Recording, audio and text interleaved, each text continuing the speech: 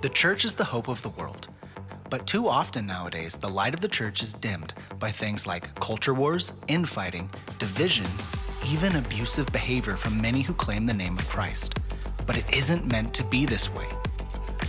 Join us as we turn to the book of Acts and find what happens when regular people are unfazed because of the Spirit of the risen Jesus. His power is still available to us today, and it's a power that can turn our world upside down.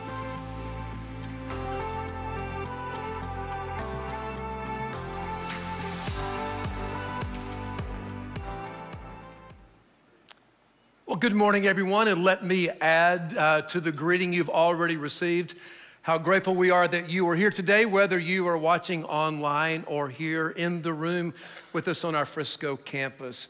As Paul said, we're coming to the end of our study in the book of Acts, and we've entitled the overarching title for this entire series is Turning the World Upside Down. And today I wanted to answer the question what kind of leader can God use to really turn the world upside down. And if you've been with us for a while, you know that I'm probably talking about the Apostle Paul. He is the kind of leader that God used to literally turn the world upside down for centuries. Now, in his lifetime, he probably started anywhere from 14 to 20 churches. Uh, he wrote 13 epistles or books that make up half of our New Testament. And in his writing, he essentially redefined or really defined the whole Christian message, the message of Jesus. And as a result of that, his influence is still at work today as literally billions of people read his letters and their hearts are touched and shaped. But here's the thing if you saw the Apostle Paul today, he wouldn't look anything at all like a celebrity pastor. He wouldn't look at anything at all like someone you'd probably want to hang out with. He is self deprecating. He talks about his looks not really impressive, and he's all not that much of a great speaker, he would say to himself. And yet there was something about his leadership that allowed the Spirit to use him in such a way that the world could be transformed and turned upside down. Well, today we're going to be looking at a number of verses found in Acts chapter 21, verses 17 through chapter 23, 22. So if you have your Bibles, if you have your device, please turn there. We're not going to speed read through it. I'm going to do a little paraphrase quickly through there. And then as I walk through some of his leadership attributes and strategies, we'll be picking and choosing from some of these verses, all right? So when you open your Bible to Acts 21, beginning of verse 17, Paul uh, has just arrived in Jerusalem. Last week, Paul, the co senior pastor, not Paul the apostle, you know, he talked about this last meeting that Paul had with his friends and elders in Ephesus. And now, as we open up today, Paul is in Jerusalem. And uh, when he arrives, he meets with James, the half brother of Jesus, and they get together and they share all the incredible things that God is doing. Paul talks about how God is transforming the lives of Gentiles.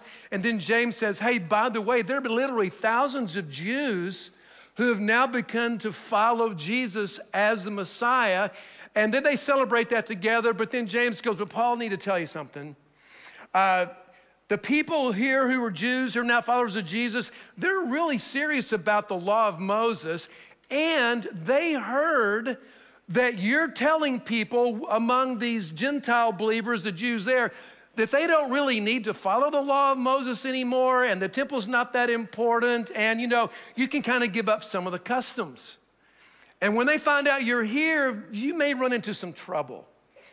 And so James says, here's what I think we probably should do. I've got four guys who are finishing up a temporary Nazarite vow. They're going to be going to the temple for a purification rite. And when they're done, they're going to shave their heads. And I want you to go with them, shave your head, and I want you to pay for the barber. It's rather expensive, but that'll let them know that you affirm the law of Moses. Paul says, All right, I'm in. He goes, and unfortunately, while he's there, there are some Jews from Ephesus, the Ephesus area, who knew Paul and knew what he said, and they start a ruckus. And I mean, they're calling down fury and fire. And before long, Paul's life is in danger. They grab him, take him out of the temple, slam the door shut behind him, and as they're about to try to kill him, thankfully, some Roman soldiers see him. They go get the commander, and they come and they rescue Paul. Whew. I mean, he almost lost it right then and there. He gets in the safety of the fortress, the Roman fortress. And Paul asks if he can, hey, can I just defend myself to all these people?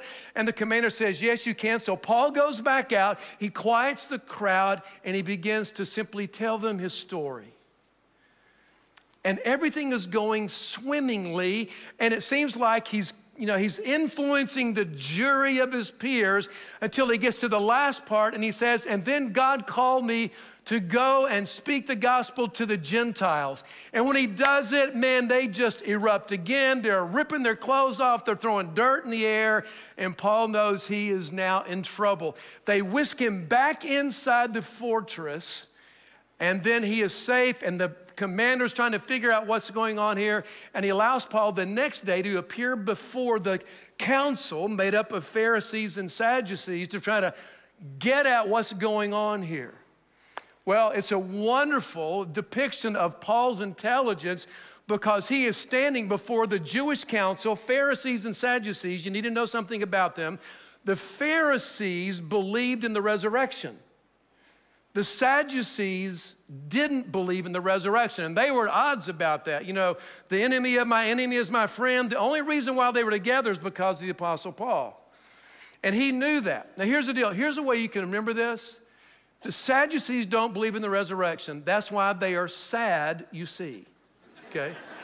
the Pharisees, they believe in the resurrection. That's why they are fair, you see. All right? So they're there to judge Paul, but Paul goes, Hey, before you go any further, I want you to know that I'm here and I'm being judged because I believe in and I teach the resurrection. And the Pharisees go, hey, he's not so bad after all. And then the Sadducees go, I can't believe that. And they actually start fighting themselves. And Paul is able to slip out with the guards for another day. However, at that point in time, there are about 40 people who swear that they will not eat or sleep again till they kill Paul. So they're going to, they set up a conspiracy to assassinate him. Thankfully, Paul's nephew finds out about it, tells Paul, and because of that, they are able to whisk him away to Caesarea to safety. Whew, that's a lot of stuff. There's that story, but deep in that story are some of the aspects of the Apostle Paul's leadership. And I hope that as I uh, lay those out for you today, that you'll begin to sense how important leadership can be and also how you can also be a leader. That's why I want to ask you to ask yourself two important questions today. Here's the first one what kind of leaders do you want to follow? That's a really important question in our culture today. I mean, it just seems like, in terms of spiritual leaders, there's an expose on Hillsong right now. I've been watching that. The Duggar family, there's an expose on them coming up, and they're kind of led astray by another kind of cultic teacher leader. We have moral failings and we have controversy. Even in the state of Texas, we have political failures, it would seem. And so, as we look around us, we have opportunities to, to follow leaders, whether it's at work or whether it's at school or whether it's a team we're on. The question I want to ask you is what kind of leader do you really want to follow? It's really important that you understand that and comprehend that. Here's the second thing and I think this is probably even more important. What kind of leader do you want to become? You may not have an official leadership position anywhere, but you have influence in your family, with those with whom you work, in your neighborhood. You are a leader. There is more leadership being done by people who are not in official capacities of leadership. You're a leader, you're an influencer, and you have to decide what kind of leader you want to become. So, to, to begin, kind of unpack some of that, I want to uh, ask you another question What is the task of a leader? You know, what is it that a leader does? And here's a wonderful quote that I've, I've, known for a while. It goes like this A leader is someone who tells you what you do not want to hear, who helps you see what you don't want to see, so you can become what you have always known you could be. Now, this is a quote from the Apostle Thomas Landry of Dallas Cowboy fame, not, not the Gospel of Thomas, but Tom Landry. Now, here's the deal the Apostle Paul does this incredibly well. He tells people what they need to hear, and he helps them see what they never thought they would see, and they follow him, and their lives are transformed by Jesus. But there were many people who did not like what he said, and they did not like the vision that he portrayed. And as a result of that, they said, There's no way I'm ever going to become something other than who I am. And that made them uncomfortable, even hostile. Why? Because he was upsetting their belief systems in life. And that is never an easy thing to do. Thus, all the commotion, all the controversy, all the opposition, all the persecution that Paul experienced because he was moving their cheese. That is, he was causing them to focus on changing at the deepest parts of their lives. So here's something that you're probably aware of, but maybe not. Controversy and opposition follow leaders. If you're a leader, you're going to experience resistance and opposition, but that comes primarily for two reasons. Here's the first one. Sometimes leaders get opposition and controversy because they are immature leaders. That is, that their character and their maturity cannot bear up under the load of their success that came easily. Another group of leaders can also engender and create opposition. And these are leaders that are mature. That is, their giftedness and their success lines up with the quality of their character, and because of that, incredible things happen. So, what is a mature leader? I think in my mind, that's the one thing, that's a quality that I always look for, I hope for in myself. So, what is a mature leader? Here's a definition that I processed this week, and hopefully it'll be helpful to you. A mature leader is ever developing in key aspects of their life mentally, spiritually, emotionally, morally, and relationally. Now, here's what I want you to think about. You know, here's the thing you can be a leader and you can be successful initially, but if you're not growing or you're not good in one of these areas, your leadership will crash. That is, we all know people who are very successful, but they have a moral failing, and now all their leadership goes away. Or they are not emotionally mature and they can't control their thoughts and their speech and their action, and they disqualify themselves by the way they react and those kinds of things. So, all these are important aspects of leadership. And so, what I want to do is, I want to, to maybe help you see today Paul's mature leadership and how it allowed God to use him to turn the world upside down. So, we're going to talk about uh, these six areas in the Apostle Paul's life. And I think at the end of our time together, you will see why he was so effective and why God could use him. So, here's the first thing mentally, Paul was a brilliant student and a strategist. Now, he was racing to the top of the Pharisaical ladder before he met Jesus. He likely had memorized the first five books in the Old Testament as a young teenager. And he was a student of Gamaliel, think Ivy League.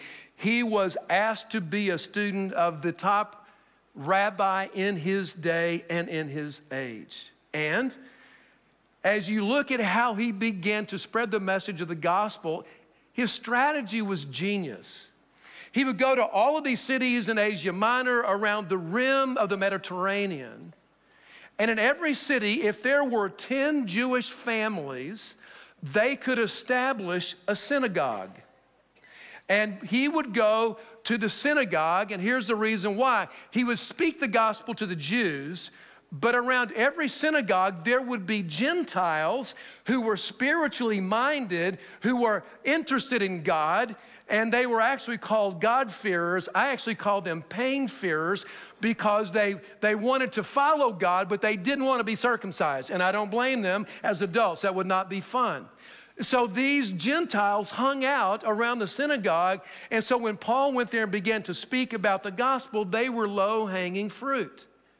And these God-fearers told their two friends, and those two friends told their two friends, and so on and so on. And that was the way that Paul got into the Gentile communities where God was leading him to share the gospel. He was brilliant in that.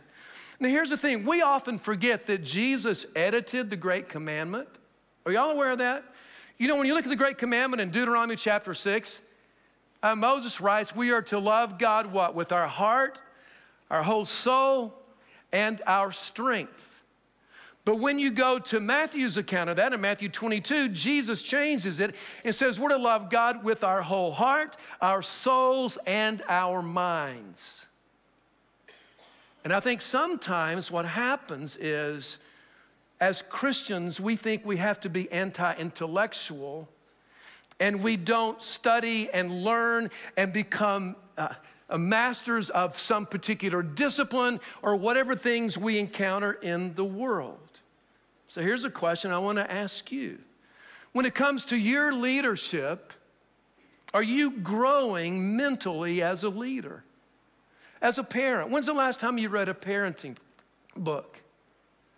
You're leading in your marriage. When's the last time you really focused on some of the principles of marriage?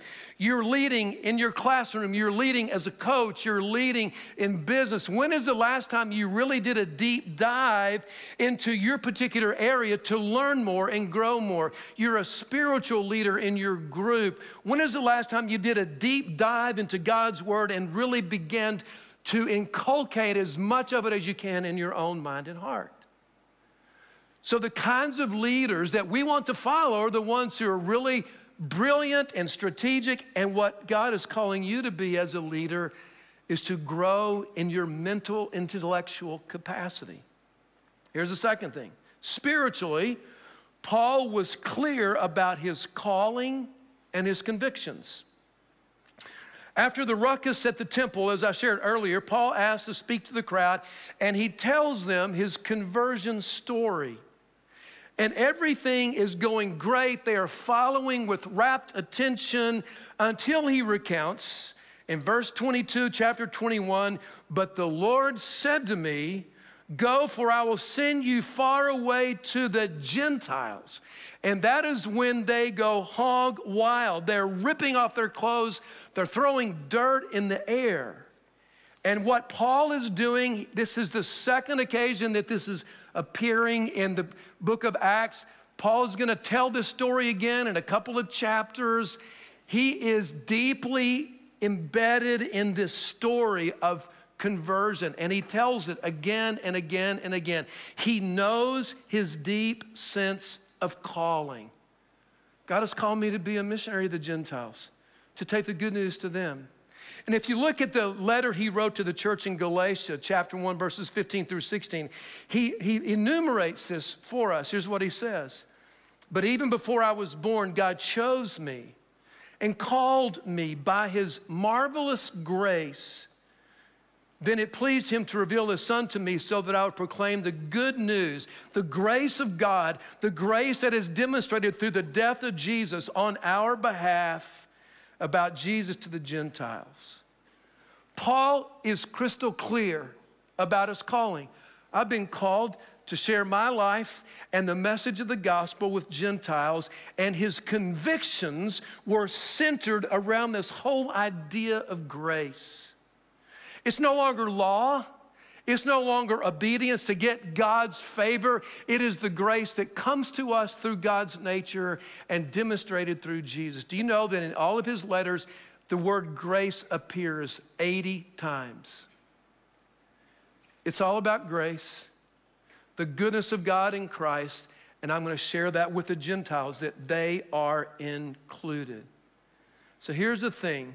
Before Simon Sinek talked about knowing your why, Jesus, um, Paul knew his why. And his why was to go to the Gentiles. And that why helped him allocate his resources, his time, the way he spent his energy. But more than that, and sometimes I think we miss this, it was understanding his why and understanding that grace is at the heart of it that allowed him to persevere through some of the most painful, challenging moments. Let me just list them for you. The Apostle Paul was arrested on three occasions. On five occasions, he received 39 lashes. Just getting those once can kill you. I can't imagine what his back looked like. On three occasions, he was beaten with rods. He was stoned and left for dead once. He was shipwrecked three times. And he spent a whole day and night floating in the Mediterranean waiting to be saved. I don't know about you, but like one of those whippings with a cat and nine tails, I'm kind of backing off a little bit. I'm not sure about my calling. But what enabled him to continue to push on was this deeply embedded sense of his calling. God's called me to be this and to do this, and was based on grace. And so, as these people were beating him and imprisoning him, his reaction was not judgment and hatred, it was grace. It was grace. Perseverance, I love this quote, is not a long race, it is many short races, one after another. I think that's an accurate description of what perseverance is. He had to persevere between beatings, between arrests, all along, and it was knowing his why that enabled him to do that. So let me ask you are you really clear about your why? Have you lost your why? Have you ever really discerned it under God what your why is in this life? You know, we're living during a time of what some people are calling the great resignation. Have you heard about that? You know, in 2021, 47 million people quit their job. In 2022, another 38 million quit their job. And now we have a new phenomenon called, what you know what it is? Quiet quitting. People are kind of quitting in place. And people are quitting coming to church. And people are quitting getting married now. And I think because of what we've been through, people are losing their sense of why they were made and what they've been called to and their sense of conviction. So let me ask you have you lost your why? Have you lost touch with your guiding convictions in this time of struggle and the pandemic and all the disruptions around us? If you're going to be the leader that God is calling you to be in your home, where you work, where you go to school, where you play, the next thing you maybe need to do is to get in touch again with your why under God. Why are you here? What does He have in store for you? And what are your guiding convictions that are non negotiable for you to live according to? even in difficult times. So, Paul, man, he grew, he was spiritually set. Here's the third thing emotionally, Paul was able to remain calm in the middle of a lot of chaos. And I mentioned earlier how they grabbed him out of the temple. And I, and I love this part of the story. I mean, they grab him, they pick him up, they slam the doors to the gate of the temple, and they are starting trying to kill him. The Roman soldiers come, they kind of quiet the crowd, and yet now they're, they're trying to bring Paul back into the fortress, but the crowd follows along. And there is so much yelling and so much screaming and so much cursing. They are so violent that the Roman soldiers have to lift Paul up and body surf him up the stairs into the fortress. And as soon as he gets in, Paul turns to the commander and says this uh, Hey, may I have a word with you?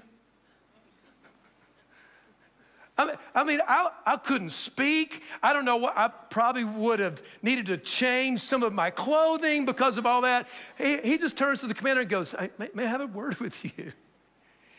In the middle of all of that, he is able to maintain his emotional responses. I, I love what he does here. He actually speaks to this Roman commander in Greek, and it surprises the Roman commander. Oh, you know Greek? He is not hijacked by his emotions. He is able to experience and see what's going on. His view of reality is not distorted. He is able to think straight. His spirit is not closed off. He's able to go, hey, hey, can I have a word with you? There's an amazing power when people are able to remain calm in the middle of chaos. In verses 39 and 40 of 21, when he goes and speaks to the crowd, I want you to pick up again on how his calm demeanor impacted the crowd. Here's how Luke records it. Please let me talk to these people. The commander agreed. So Paul stood on the stairs and motioned to the people to be quiet. And soon a deep silence enveloped the crowd, and he addressed them in their own language, Aramaic. He goes from Greek to Aramaic, and the highest moment of stress and anxiety and worry. And what he does is his calmness calms the crowd with him. You know, one of the most important things that you can do as a leader, as a parent, as a friend, is that you can be the kind of person that lowers the level of anxiousness and worry. There's a, a wonderful uh, writer by the name of Ed Friedman who talks about the power of being what he calls a step down transformer. Those of you who are engineers, you know what this is. Uh, you know, we have a lot of power lines here in Frisco that carry a lot of amps and a lot of volts. And what would happen if some of those largest electrical wires were plugged directly into your house? It would blow up your house, it would start on fire, but all those huge wires go into a series of step down transformers, and now the power is stepped down to 220 or 110, and it goes into your house, and what happens? Everything works the way it's supposed to work. And so when people like Paul remain calm, even in the most chaotic times, it allows people to function and respond in ways that are healthier.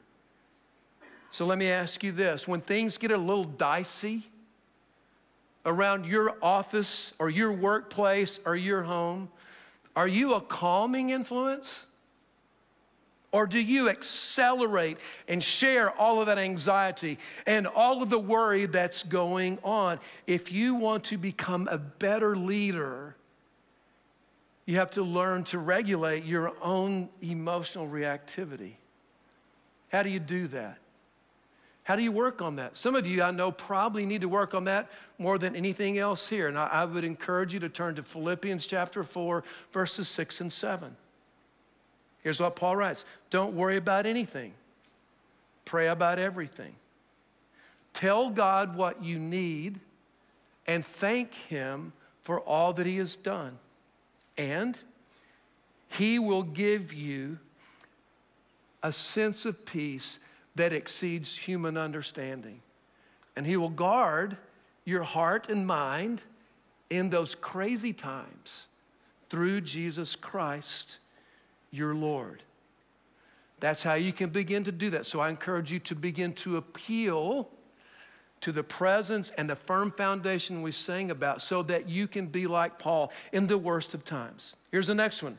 Morally, Paul's character was impeccable.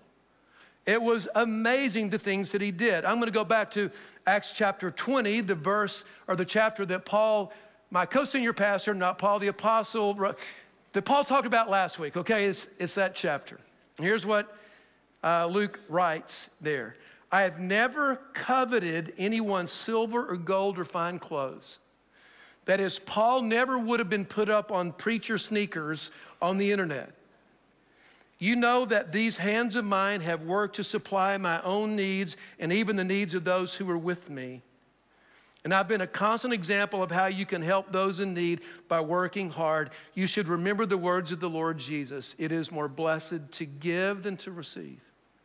Now, here's the thing there were no missionary sending organizations when Paul went out around the world. He had no people to raise support from.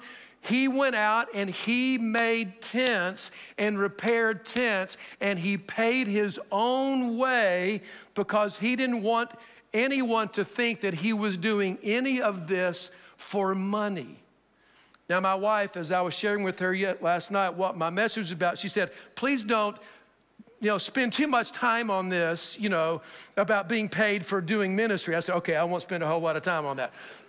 But here's the deal he, he wanted to make sure that people knew it was not about him, it was not about enriching him, it was not about his platform, it was not about how many likes he could get. It was always all about the people. And so he paid his own way all the way. Now, here's the thing, and I hope you won't forget this character like water, always flows downhill. Character, like water, always flows downhill.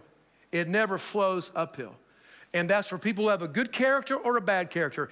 If the person at the top has great character, impeccable character like Paul, then everyone below looks up to him and says, Oh, I want to be like that. And Paul often said, Hey, watch me imitate me as I follow Jesus.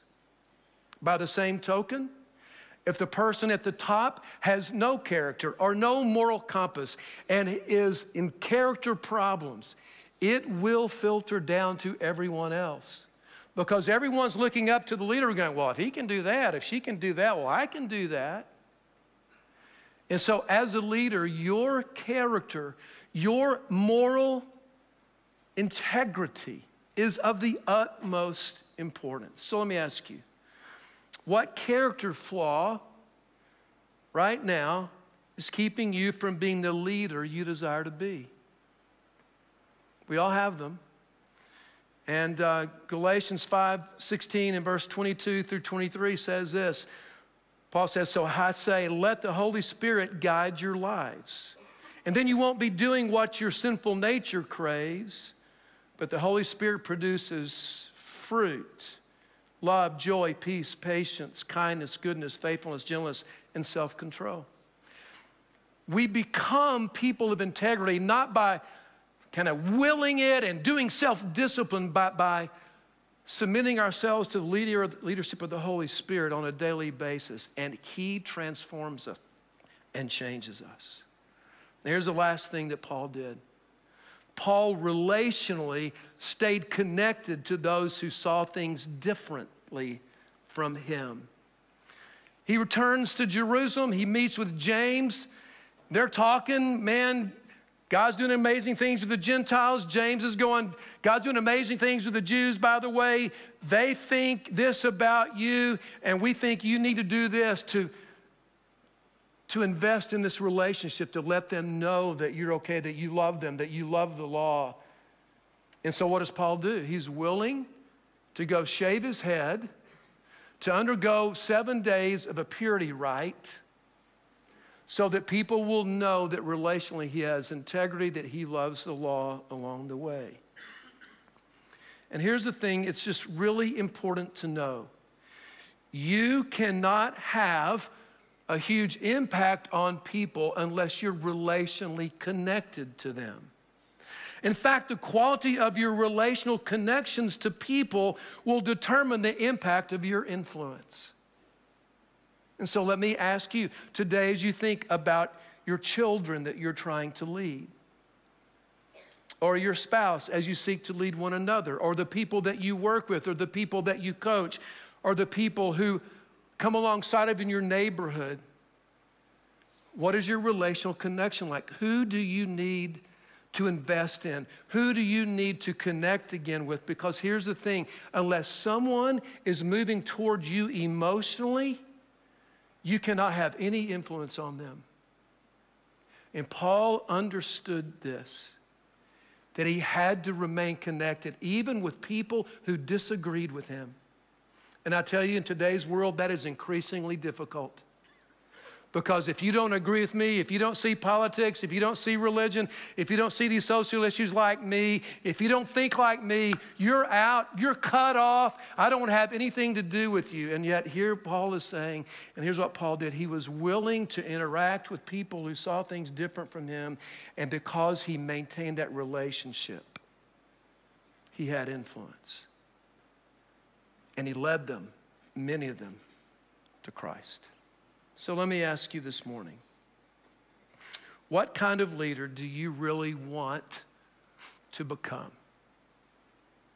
And as you think about these things that I've spoken about, what area in your life do you need to grow in? And I want to challenge you just this week to grow in one area of your life? Do you need to grow intellectually about some things, about your faith, about your work, so you will have more influence?